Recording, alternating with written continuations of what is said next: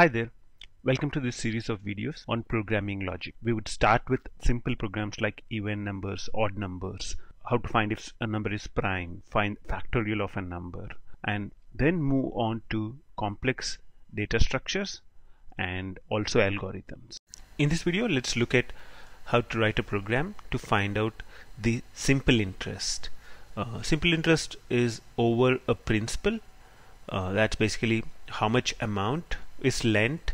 For example let's say I've lent uh, thousand rupees or thousand dollars whichever currency you're comfortable with.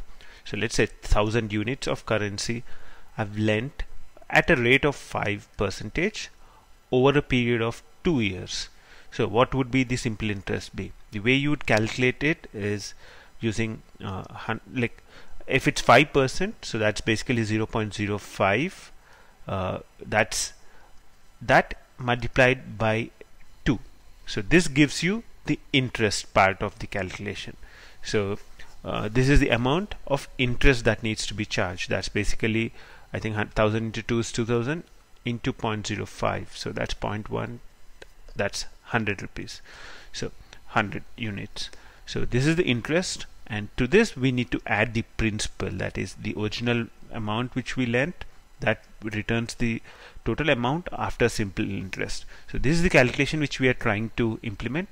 If you look at what we have done, the entire calculation can be simplified into this formula. That's basically principal multiplied by 1 plus rate into years. So rate into years gives me 1 plus rate into years gives me the multiplication component which I have to multiply the principal with. One thing I should be careful with is the value which should be passed to rate. Usually when I say 5 the value actually is uh, 0.05 uh, if I say 5 percentage it's actually 0.05 so it's what we mean here is rate by 100 so uh, if you look at the program the one thing which you should be careful about is uh, the uh, data types. Principal can be thousand point like thousand and two rupees 50 paise so I use a float and rate can be 5.5 percent or 6.5 percent as well. So I use a float for that as well. Years I'm assuming that the years are uh, integers. So I'm writing a program for which uh, I would calculate only for uh, complete years. So uh, these are the assumptions we are making. Uh, if you look at the program the program itself is very simple um, its principal multiplied by 1 plus rate by 100 into years that's exactly the formula we wrote here and we return the amount back.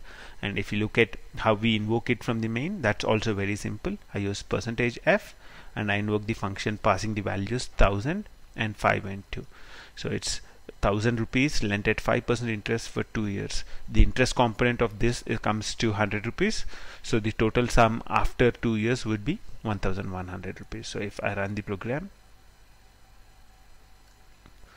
you would see that the output which is presented out is amount simple interest is 1100 so there you go. That's a very simple program to calculate simple interest of a loan. If you like this video show it by clicking like or commenting or sharing this video. We are creating more videos on varied range of topics as we speak. Subscribe to stay updated. Thanks for watching. Until next time bye